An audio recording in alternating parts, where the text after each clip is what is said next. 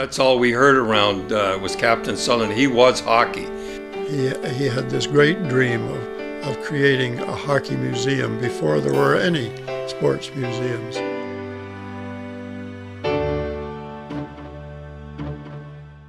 Well, uh, James Sutherland was, was I think, uh, truly endowed with that title of father of hockey in Ontario because he was so deeply involved in the game at, at every aspect of it and his involved with, involvement with the OHA.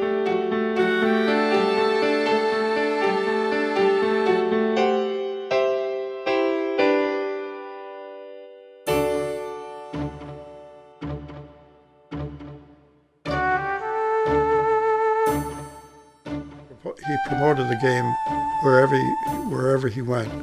If he wasn't selling shoes, he was selling hockey. He was a guy that we talked about all the time.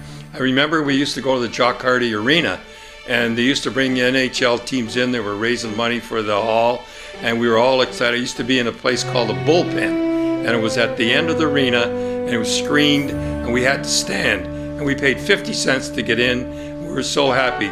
But he was the guy that we thought as hockey at the time, and uh, we thought of the Hockey Hall of Fame. That's the one guy we thought of.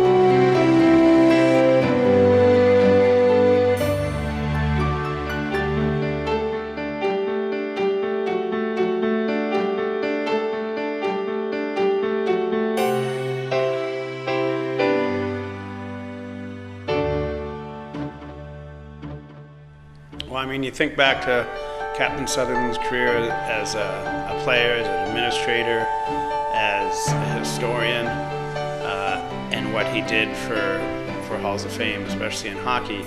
I mean, obviously, he's an honored member here at the Hockey Hall of Fame.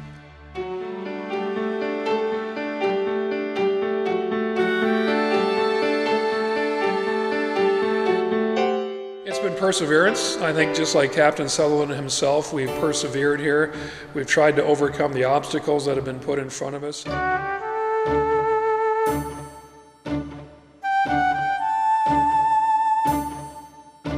He was a aristocratic, big, tall. He seemed, at the time, he seemed awful tall to me, and he looked like a, a lord or something from England and that. But it was my dad and him had a real close relationship, and that's how I got to know him quite well. And uh, he was he was quite a man, boy. He had a he had he had a he had what you call a presence about him.